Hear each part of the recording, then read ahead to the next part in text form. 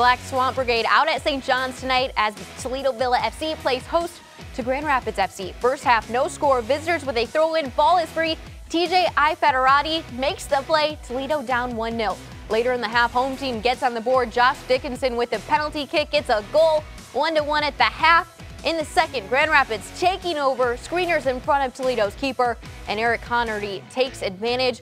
Grand Rapids takes the 2-1 lead. Villa FC improving better here on the throw-in, with Cotton punching it out of bounds, but not enough.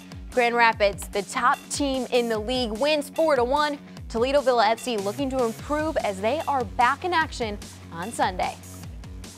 Honestly, it's frustrating to let three goals in, but I think defensively, we're doing a good job in the midfield. Uh, we're doing a good job. We're playing good football. Sometimes we just get caught playing out of the back, which I mean happens to the best teams. You see it happen to England yesterday, two goals, but it is what it is. It happens, but we're just going to keep trying to do the right thing, and it's going to work.